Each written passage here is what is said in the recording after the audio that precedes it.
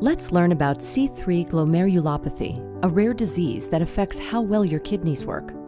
C3 glomerulopathy, also known as C3G, is typically diagnosed in children and young adults, but it can be diagnosed at any age. C3G causes damage to structures in the kidneys called glomeruli, which help the kidneys filter extra fluid and waste products out of your blood. Damage to the glomeruli can lead to kidney failure over time. After about 10 years, enough damage has occurred so that about half of all people with C3G have kidney failure, which needs to be treated with dialysis or a kidney transplant. There are two types of C3 glomerulopathy dense deposit disease, or DDD, and C3 glomerulonephritis, or C3GN. Your doctor will perform a biopsy to diagnose which kind of C3G you have. A kidney biopsy is when your doctor takes a small piece of your kidney and looks at it under a microscope. The C3 in C3G refers to a protein called C3 complement protein that's part of your body's complement system. The complement system is a collection of proteins in your blood that help or complement your immune system. In C3G, the complement system becomes overactive or doesn't work as it should, and this causes damage and inflammation of the glomeruli.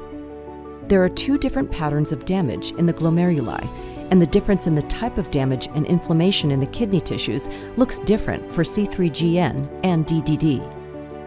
Symptoms of this disease and how bad they are can look different from person to person, but some of the most common symptoms are pee that is dark or foamy, peeing less than usual, feeling weak and tired, swelling of hands, feet, and ankles, and high blood pressure.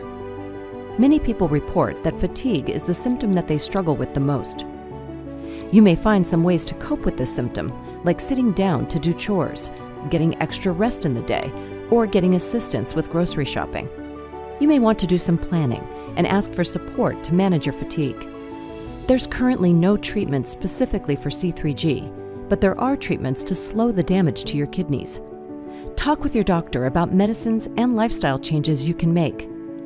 You may also find that your mental and emotional health are impacted. Depression, anxiety, and other mental health issues are common in people with kidney disease. Find what works for you to cope with the stress of your disease and live your best life. This could be staying active, getting enough sleep, tapping into your faith, getting creative, or finding support from friends or a mental health professional. To learn more, visit kidneyfund.org/c3g